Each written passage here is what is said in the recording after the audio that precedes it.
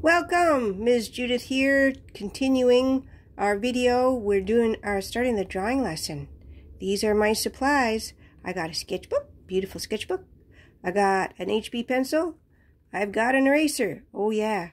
I have a beautiful uh, blank paper. I've already figured out where I'm going to put my tree. It's going to be between here and here. Okay. So I'm going to show you how to draw that beautiful tree that we were just looking at. And I'm going to go through it step by step. And when it's your turn to do, uh, to follow along the steps, right? Because I want you to do this with me. I'm going to do a step and then what will happen is I'll do my step and then I'll put this little note here that says pause.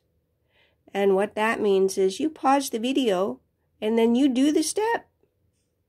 And then, um, and then I will resume and you can start the video up again. Okay. You can pause the video as long as you like to take as long as you need to to do that step. Okay. But you need to pause it. I'm not going to let the video run while we're waiting for you to draw. Okay. Um, so that's how we're going to work it. Okay. So I have my paper. I have my pencil. I have my eraser. That's all I need. That's, I'm ready to start. And I showed you the tree. So it's going to be a lot of fun. And if you uh, remember, um, my tree is shaped like an upside down heart. So to simplify my tree, I'm just going to make like a V. An upside down V okay? There's my upside down V. The, the tree actually um, kind of comes around a little bit. The tree comes around a little bit. Okay, that's a simplification of the shape of my Alberta spruce. It's a beautiful tree. Okay. Um, so you know what? Why don't we do this? We got the first shape in. Let's pause the video and you draw that shape. There's the shape. Okay. So um, I'm going to assume that you got the shape on your paper. The next step is I am going to put the shading on my tree. Because remember, half the tree was in the shadow and half the tree was in the sunlight, right? And I'm going to get my underhanded art grip. I pinch my pencil between these. If I was right-handed, I'd do it like that. And then I'm going to put my finger on the front there, and then I put these fingers under there, see? That's how I do it if I were right-handed. I'm left-handed, so I'm going to pinch it like that with my left hand. I'm going to put my finger there and my other fingers under there. And that lets me do my shading really quickly, okay? So what I'm going to do now is I'm going to draw the shadows like they were one great big shape. And when I look at the photograph, I'm looking at the photograph right now, I can, um, I put my finger over the pencil. I start moving the pencil around. See how quickly I can shade in the sh these shapes. I'm going to say the, sh the shadow goes up like that. There's quite a bit of shadow over on this side. And the shadow's over here. It kind of comes over here. Oh, it's a beautiful shadow. Oh, it kind of it kind of zigzags a bit. See that? If you look, uh, I'll see if I can post the photograph so you can get a, a hold of the photograph but it kind of goes zigzag in and out a bit. And there's some zigzagging over here. There's quite a bit of shadow near the bottom. There's a little light bit there. And there's more shadow at the bottom. I'm not trying to do any textures. I'm just trying to shade in the shadow shapes. And you can see that I can do it fairly quickly. See, I can do these shadow shapes pretty quickly. Okay, this one kind of comes around.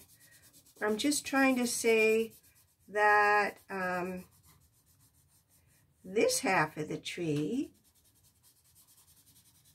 is in the shadow. And this half of the tree over here, that's in the sunlight. Okay? Now that's a lot of work. Okay? So now it's your turn. Can you put the shadow on the tree? Pause the video. Oh, that's what you got to do. That's your next step. Okay? So I'm going to assume you got this step done now. Okay, I hope you had a easy time of using the underhanded art grip and putting the shadows. Just one shape for those shadows. Quite lovely.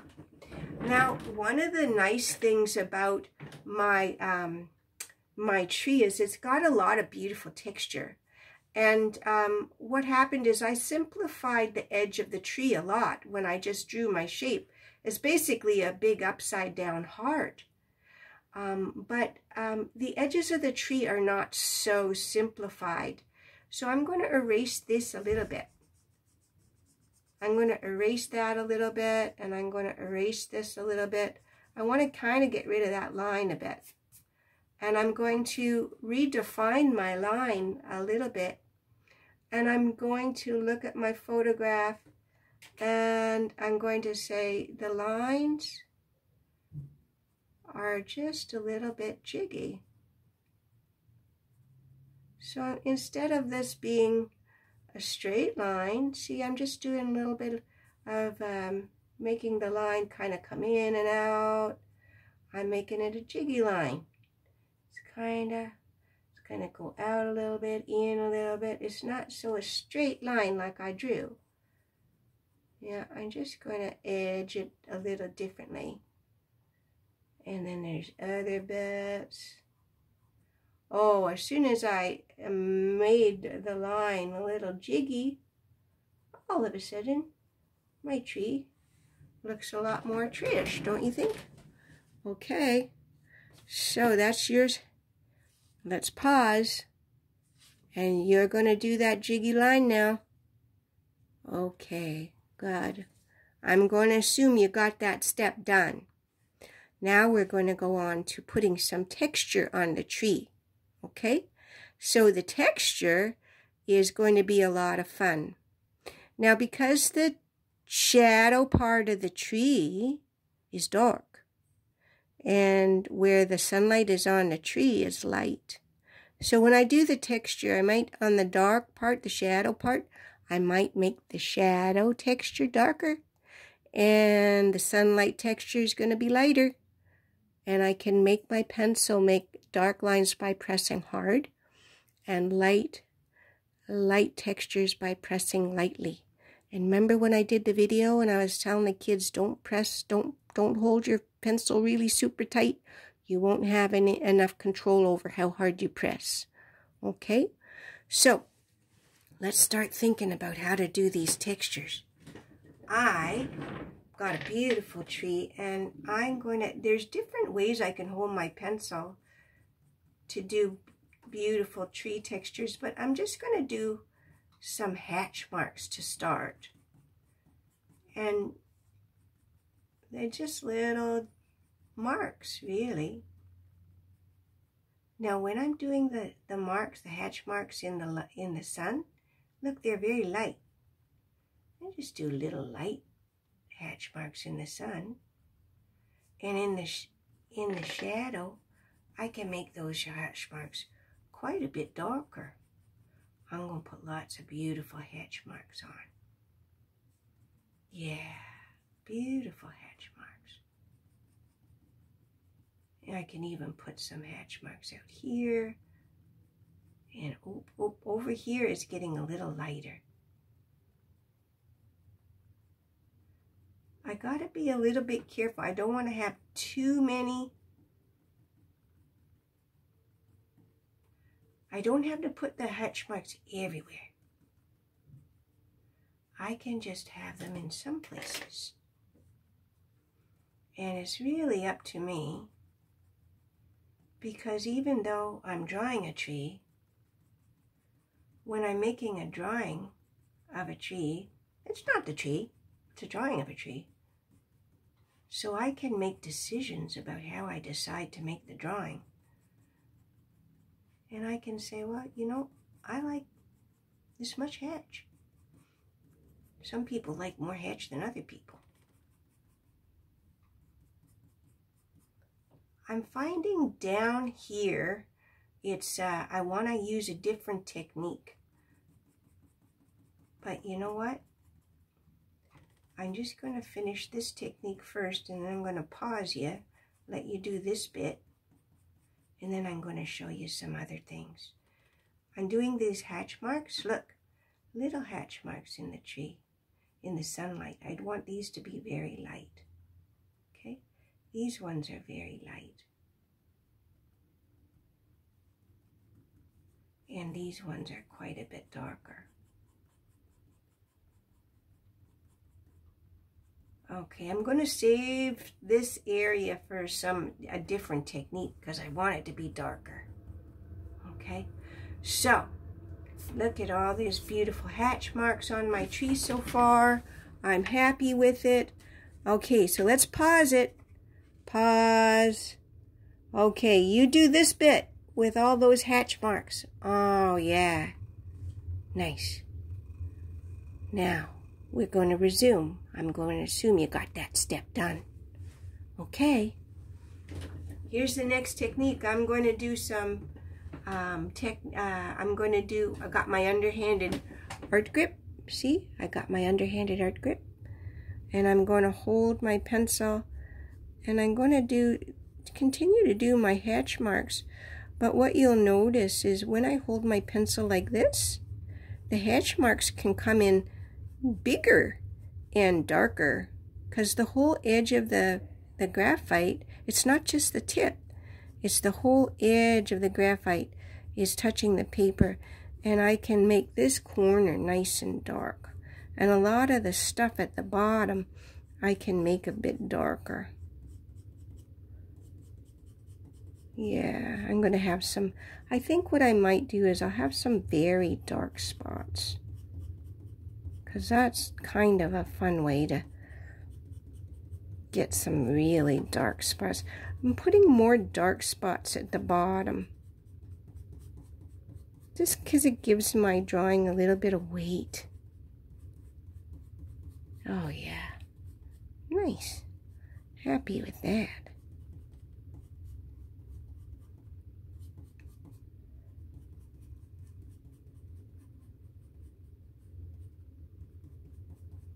See that? Oh, yeah. You see how I'm trying to make my texture? I want my tree to look like it's got all that great furry texture on my... Over here, uh, maybe I'll do it, but very light. See how when I do it in the sunshine, I try to do it very light. Because the sun is so bright. Over here is very dark. Here is very light doing dark and light and dark and light, dark and light. Maybe I'll put some up here, darker bits.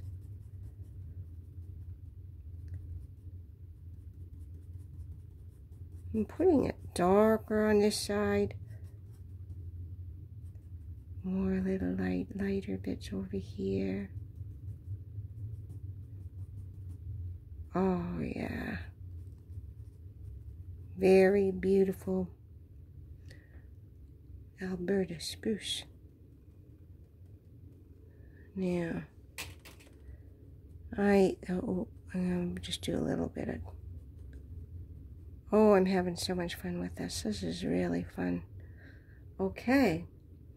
I'm going to let you play with that technique now. Remember the underhanded art pencil grip. And I'm just making these really, all these super fun textural marks, okay? So let's pause, okay? And you do that step, add more texture, see?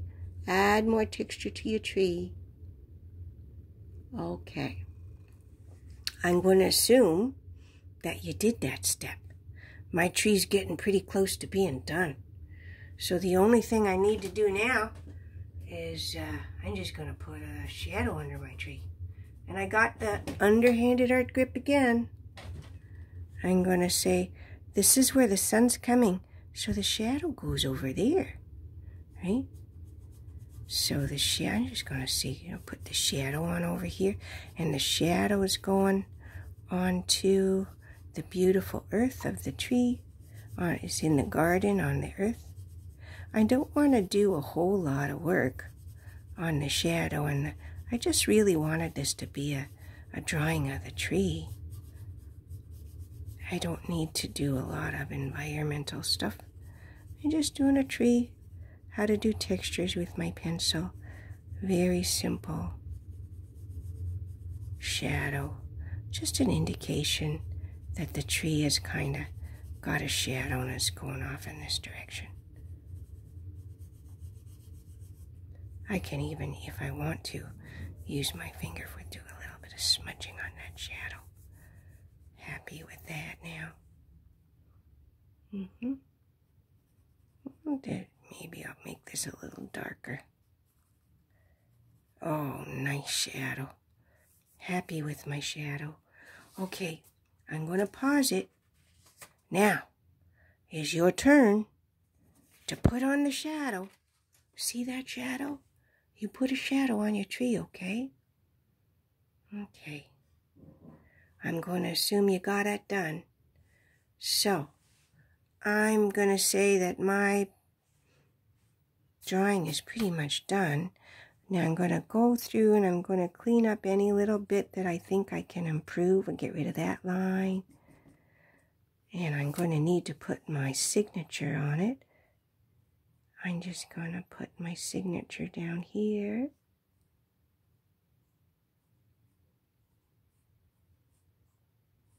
And there I have a beautiful tree. I love my tree. That's a nice tree. It's an Alberta spruce.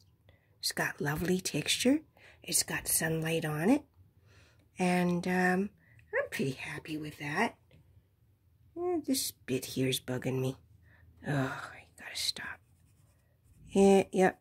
Oh, always at the end, you gotta kind of look and see if you can make a few little last improvements. I'm stopping. Okay, this is Miss Judith. Thank you.